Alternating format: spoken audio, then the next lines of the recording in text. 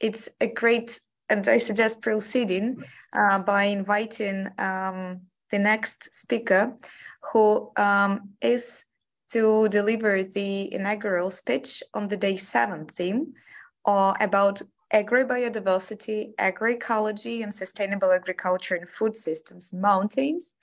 And this guest of honor, Dr. Devinder Sharma, is a distinguished agriculture, food, and trade and policy analyst and an award-winning journalist um, and uh, a fellow of Cambridge University. And it's a great honor and pleasure to give the words to you. And the floor is yours, please. Well, thank you very much, uh, uh, the Grassroots Institutes, uh, and also to the other partners uh, for giving me this opportunity uh, to, to uh, speak at this particular forum, which I find is very fascinating. I'm joining you from a place called Chandigarh in northwest India, which is at the foot of the Himalayas. And uh, my upbringing has also been in the Himalayas. So I'm quite familiar with the kind of crisis and the opportunities that the mountains uh, offer. You know, when we discuss uh, the agrobiodiversity, uh, the agroecology, and the uh, food systems uh, in the mountains, or let's say in the Himalayas particularly, which, as we all know, if you look at the Hindu Kush mountain region, is, you know, uh, it has about 210 million people living there. And uh, we all know that the communities actually are mostly agrarian and they live on natural resources. So, but unfortunately, what has happened over the years when we talk of agroecological system and the food systems, we have uh, tend to uh, borrow the, the food systems from the plains and from the flat regions of the country. And uh, the universities, when we talk of bringing science uh, to the mountain areas to see that the development takes place, we have actually borrowed the model from uh, these uh, uh, areas and uh, ensured that the mountains also go into what is called as intensive culture, you know, agriculture practices. So we have universities in, in, in the Himalayas or in the other regions of the world where the kind of curriculum that the universities are following is primarily the same kind of a curriculum which uh, operates uh, downstream or in the in the plains or the uh, you know flat regions of the country. So that kind of a model which we have borrowed and implemented in the mountains is actually also responsible for the kind of unsustainable farming practices that we have introduced over the years. I'm sure in the session on agrobiodiversity and agroecology on day seven, we will be discussing all this in more details. But I thought it is very important to to, to point this out, why is it that we do not have a curriculum even now for the mountain areas, the kind of agriculture research or the food system or the food farming system that research should take place in the mountains is, uh, you know, borrowed from what is happening elsewhere. And that is what has exacerbated the crisis in the mountain areas also. We have heard the people saying, and we all know that also, that, uh, you know, water comes from the Himalayas or in the mountain regions. And we know that uh, the uh, traditional communities are the custodians of water. But we also at the same time find that there is a terrible, terrible uh, shortage of water or crisis uh, in, in the mountain regions. You know, the people who are supposed to protect the water, you know, coming out from those regions are the ones who are, who are faced with a kind of a deficit. And there is a kind of a situation that is emanating or emerging where, as a result of which water shortage also is one factor why people are pulled down or pulled into the into the uh, the urban centers uh, for a livelihood. Uh, that is one factor which I think is important. And I'm sure if the universities were to adapt their research programs with the local needs of the communities and local needs or the or the kind of an environment that exists around the areas that where we are trying to bring in modern research or modern science into it, there would be a kind of a sea change that we would see in the in, in the food systems that the mountains should evolve.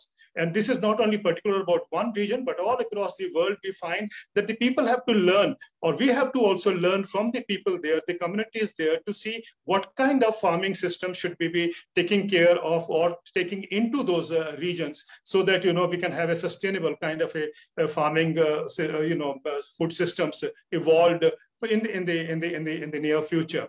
Now, the fact of the matter is that when we talk of digitalization, when we talk of privatization and so on, we do not distinguish that the mountains are a, a, a special niche area that needs a different kind of a focus. And I think that is where uh, the the effort must shift to we always talk about agroecology and agrobiodiversity. We know that it is very important to take these technologies up there. But also let us not forget all over the world that I find that the as when it comes to the food systems, we are all talking about the right kind of initiatives that need to be taken.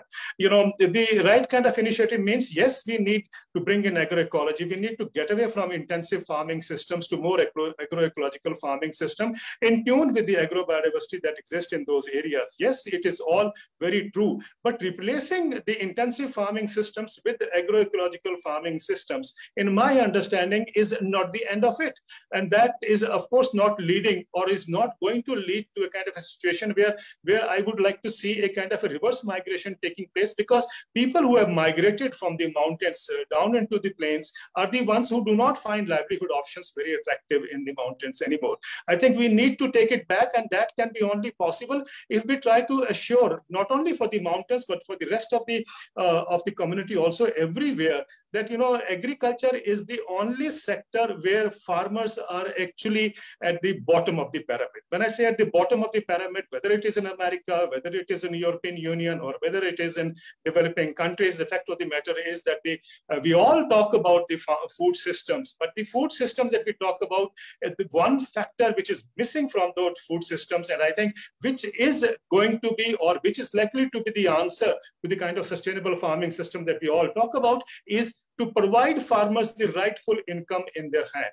Now that is something which we leave it to the technologies and so on that will be that we'll try to bring in and that we hope will raise production and productivity and that would mean more income flowing into the hands of farmers. Well, the question is, and the fact is that it hasn't happened anywhere in the world whether we are in China, whether we are in America, whether we are in Europe, as I said earlier, the farm income is the lowest. And the result is we see a massive spate of suicides all over the world. And whether it is in um, America, America, I was looking at the recent data, you know, the suicide in the rural areas in, um, in America is 3.5 times more than the national average. Now, this is in America. And if you look at it in, in European Union, a study way back had said very clearly that one farmer quits agriculture every day in Europe.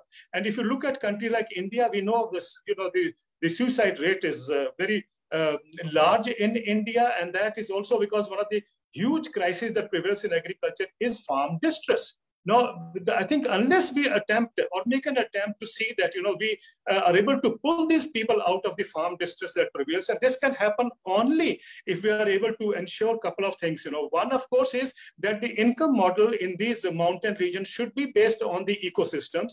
And therefore, we have now a wonderful initiative from the United Nations in the form of TEEB, the, the economics of uh, ecosystem and biodiversity that should be woven in to see that the, that the farm incomes are actually based on the ecosystem services the mountains provide.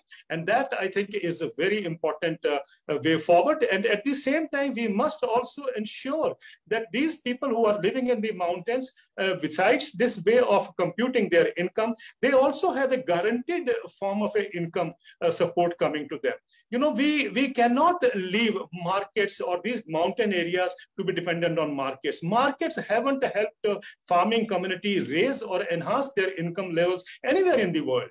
And if it hasn't happened anywhere in the world, I do not know why we go on believing that you know uh, markets will take care of the farm incomes in these mountains also. No, I think we need to evolve a kind of a system which assures or provides farmers with an assured income that which can provide him lively security and at the same time which can also ensure that he is able to put in all that uh, uh, resources into uh, you know, an attractive way if he gets the resources into the kind of activities that he undertakes to, to not only provide a kind of a food security or a food kind of a system or a food system that is more valid and sustainable, but at the same time I think um, we need a model which is economical. And unless that economic uh, system is laid out, and I will request everyone to focus on not only leaving it to livelihood options in, uh, you know, uh, integrating with the animals and uh, with the natural resources and so on and so forth, but also try to evolve a kind of a, a income level or a, a, mechanism which can ensure uh, income security to the farmers in the mountains. And I, I, in the finally, I would like to say that, you know, these two initiatives, one, you know, changing the form of agriculture research that needs to be taken into the mountains is one area that we need to uh, revisit and re, uh, you know, uh, evaluate and see whether this is relevant for the mountains or we are only, uh, you know, cutting and pasting uh, the kind of a system that already prevails in the rest of the world. That is one. And secondly, of course, as I said, the income levels are very, very important. After all, let's not forget each one of us works for a higher income.